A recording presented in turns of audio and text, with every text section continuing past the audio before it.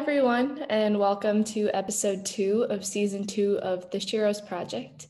My name is Nishka Iyer, and I am the executive director. Hi, I'm Malika, and I'm the Director of Operations for the Sheroes Project. And today we are so excited to welcome Leondra James, who is the Director of Data Analysis at Wpromote. So, Leondra, thank you so much for taking the time to be here with us today. And we are really excited to get to know more about you and your journey. Awesome. Thank you for having me.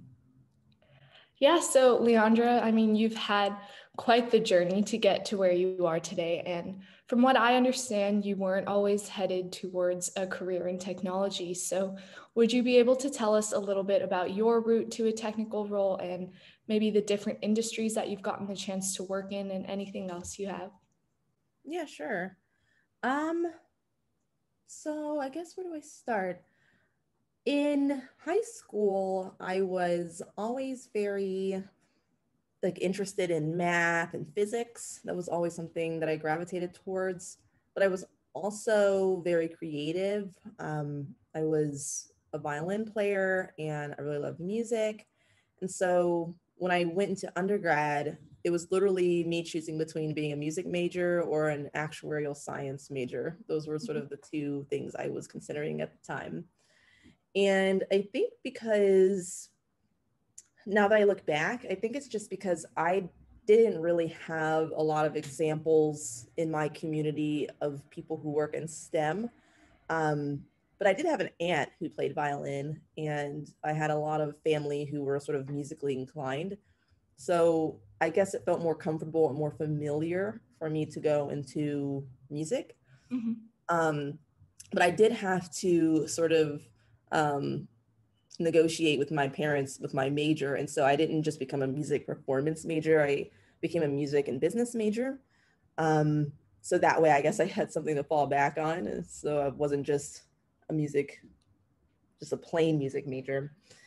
And um, throughout my studies, I took obviously music and business classes.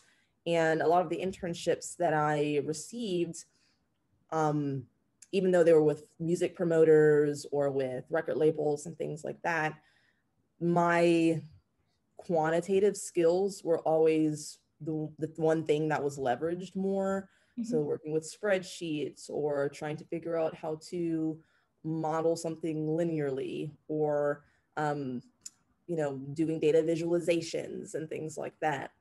And so, I had the opportunity to really leverage my quantitative skills, although I was interning in creative fields. Mm-hmm. And it was because of that that I considered going to graduate school to expand on those quantitative skills. There was this really cool major at Carnegie Mellon out of their information systems school that was for students interested in entertainment industry but it was quantitative and focused on like market research and um, using databases and programming and things like that, in addition to a strong business focus as well. So we took finance classes and um, film distribution classes and things like that. So it seemed like a really good fit for me. And it really exposed me to the tech field in general. I was in classes with people who were um, data analysis and information systems and public policy majors. We were all sort of based in the same school and I also noticed that these students, their internships paid way more than the ones that um, what we were called MEMS, uh, Masters in Entertainment Industry Management students. Um, and the MISMs, Information Systems Management kids, I mean, they were getting like $60 an hour internships. And coming from the background that I did, that was a really high paying job, you know, mm-hmm. let alone an internship. So that was an attractive component to me. I was like, what am I doing? Like not going for those type of roles. Um, and again, in the internships that I received, even through graduate school, they really only care for your quantitative skills. I mean, all the other stuff is sort of um, very saturated. A lot of people want to work in entertainment. A lot of people want to be uh, creative directors or want to work in music publishing and things like that. Um, so it was actually easier to find jobs in tech in comparison to the, the roles I was previously applying to. Um, and I think that's pretty much, I think that's a good explanation of my, I guess, my origins in tech because I say that I fell into it, but I think it was always something there that was driving me to that. That's really interesting to hear, particularly because I think younger women who are contemplating that kind of career change between fields can really look up to you as like an icon of someone who was able to kind of successfully change um, her career field, which mm-hmm. kind of goes with me towards the next question of what advice can you give to people about excelling in technical roles with or without a STEM degree? Yeah, really, really good question. Um, well, as someone who initially didn't come from a STEM degree, I would say you have to have curiosity um, and a willingness to learn and an openness to to receiving that information and not and this takes time at least it did for me but not feeling um, like you have to compare yourself to others who perhaps do have more experience um, because everyone comes from completely different backgrounds everyone has different experiences especially in like the data analytics and data science realm um, there's folks who have a programming background there's folks who have a more a mathematics background there's people who have a stronger business acumen um, there's people who have more experience with like cloud architecture like there's literally everyone has their own angle. And so coming in as someone who um, felt a little bit i guess out of place like that's okay. And even people with technical backgrounds feel that way like it's totally okay um, and i would recommend first really understanding what you want to do um, for me, it, it seemed to make sense because I, I liked math and I, I was I was not um, privy on programming, but once I started learning it, I was like, oh, this is this is kind of cool and it's kind of fun. So I think exploring and, and understanding what you like, um, and then once you understand what you want to go for, taking the time to study for it and taking the time to um, learn what you don't know, and then learn that. And knowing that it's a um, it's a it's a never ending process. You never stop learning. No one's finished learning math you know? Like it's you're always going to be learning. Um, and on top of that i would also say don't let that hinder you because a lot of people are uncomfortable with having to always learn they just want to feel comfortable like okay i've, I've learned everything i need to know i'm good um, i think in the tech field that's generally not the case because technology is always changing. There's different methodologies and approaches that are always changing, or they have different applications. So, if you want to go into tech, I think it's probably important to be comfortable with not knowing things sometimes and wanting to learn new mm-hmm. things. Yeah, I totally agree. I think that you're always working towards that time when you feel comfortable and you feel like you finally learned enough to succeed without anybody telling you what to do. So, I mean, Leondra, as a woman of color in the tech world, I'm sure that you've got experience with navigating some of the challenges that come with that title. Um, in particular, do you feel that gender and racial inequality in the tech community is lessening as time goes on? That's a really good question. Um, the experience that I've had in tech, I can say that um, to some people's surprise, not to mine, but to some people's surprise, is not necessarily more progressive than other industries. Mm-hmm. Um, um, it certainly can seem that way because it's like this, this like fancy new um, sort of quantitative based um, truth kind of industry where people think everything's just about the science and everything's about um, you know who's best you know merit will get you in certain places um, and because a lot of the industry is based in um, coastal cities that are typically liberal, like New York and San Francisco and LA and things like that. So I, I think that tech has a good PR when it comes to that, but um, I wouldn't say that compared to other industries, it's like more progressive because at the end of the day, whether it's conscious or subconscious, you still experience um, people who are either surprised that you are where you are um, or um, uncomfortable that you are where you are, or they're uncomfortable with your title, or they're uncomfortable with the fact that you might be more knowledgeable than them in some areas. Um, and that's just something that I've, fortunately or unfortunately, I've sort of become used to in a way. And maybe that's just part of survival. But mm-hmm. um, I was just talking to my fiance about this. Um, when I was in, well, throughout my whole academic career up until I graduated high school, I was a competitive chess player. Wow. And um, yeah, I used to play for the United States Chess Federation. And I was usually one of the only Black girls mm-hmm. um, playing in a tournament typically. And the interesting thing about that, that experience is that you kind of directly see the response of your opponent when you're playing someone who um, is from a different background. And I remember experiencing people being surprised that I sat down across from them, like, oh, I didn't realize my opponent was going to look like you.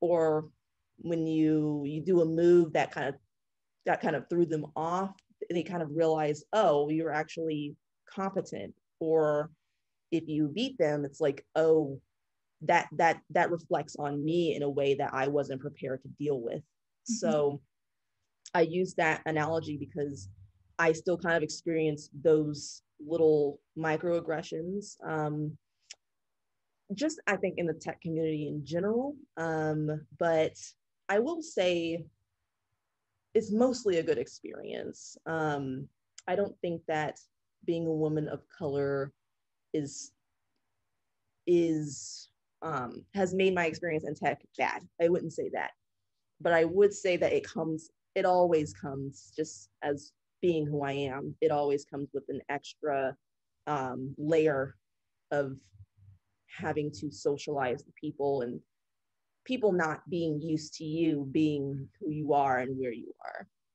Yeah. So, as a follow up to that question, in your opinion, do you think the tech community is doing enough to support and encourage women, specifically women of color, in order to pursue degrees and careers in technology? And if not, what more can and should be done? Yeah, that's a really hard question because I do see initiatives that, like big tech companies, for instance, like Google or Amazon, are, are doing to try to attract more um, diversity. And I see universities doing it as well. Um, but it's to be fair to them, it is a really tough problem to solve for various reasons. Um, it's not just about starting a program where you're reaching out to people who who are like women or who are black or who are queer it's about reaching out through like the entire pipeline because for instance as i mentioned i was always interested in quantitative studies mm-hmm. but i didn't see anyone in my community who did that and so i didn't see myself in that that sort of environment. And so I just went with what, you know, I saw myself in. Um, and there are other people who are more fortunate, you know, they have people in their family or people in their community who have sort of always been software engineers or they've always been doctors or something. So it was like a no-brainer that they do something like that. So I think what what can be done in addition to what's already happening is reaching out earlier in the pipeline with elementary schools, middle schools, high schools, um, and really explaining to different people of different backgrounds why these sort of roles are a good fit for them, not why you mm-hmm. should consider this thing that you think is weird and is totally unrelated to you, but why it's actually really relevant to you and why you would probably really love it. I don't think that's the approach that they're currently taking. And when I say they, I don't mean like one institution, but just everything, you know, mm-hmm. universities, um, employers, etc. Yeah. Well, so what do you feel could be some of the best tips or advice on how to navigate a world or a community, a workplace that wasn't made for people like you? I mean, that can be on the basis of gender or race or any other challenges that people are facing? Yeah. Um, Boy, these are really good questions. Um, navigating spaces that are not designed for you is always a tough question. It takes it takes sort of an artfulness and sophistication. It's really an art form, I'd say. I think it all starts from within, mm-hmm. I think.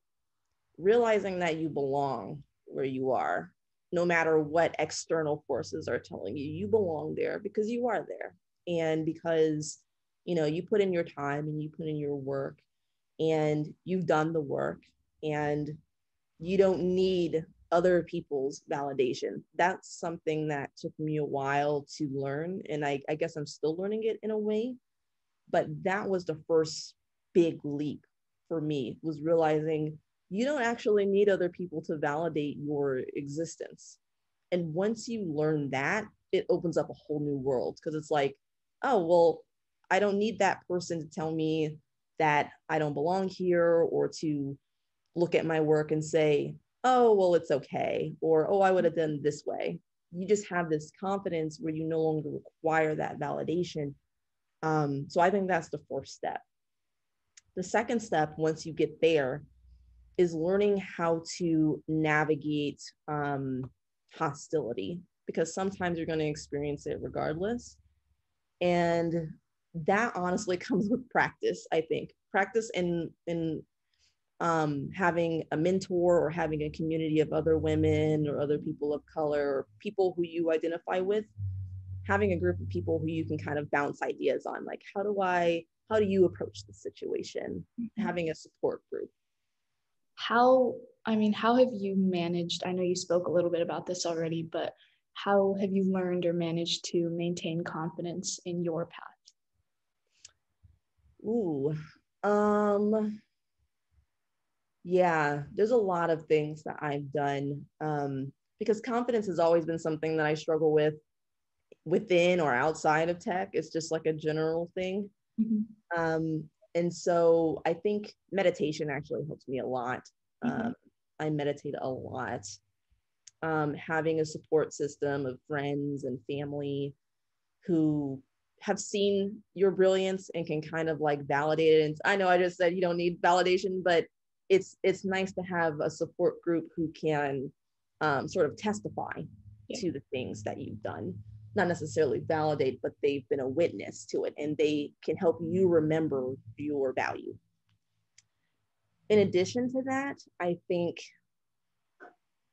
realizing that it's okay to not know everything um, for me being in tech i think everyone kind of wants to feel like they know everything. But as I mentioned, there's an extra layer being a woman and being Black where it's like, oh, I really have to know everything. Because if I don't, then that's an extra reason why someone can say I don't belong.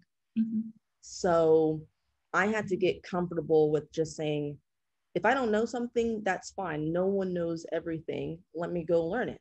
Mm-hmm. Um, and so those have really helped me maintain confidence um, because there's there's nothing that makes you feel unconfident than than being feeling like an imposter you know? Mm-hmm. um, I, I do have imposter syndrome. Um, i think a lot of people do. And i think dealing with it is just a matter of addressing it and realizing that it's it's normal. Yeah. Yeah.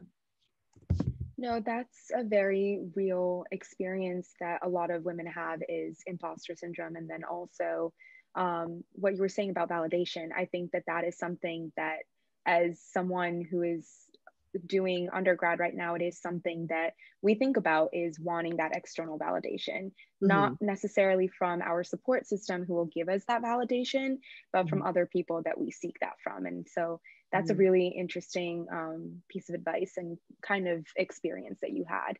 So mm-hmm. to follow up on that a little bit, um, we would love for you to tell us about Black Computers. So I'd love to hear about the organization as a whole. I know I'm kind of switching gears a little bit.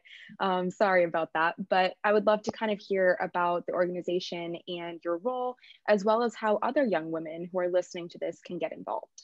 Yeah, definitely.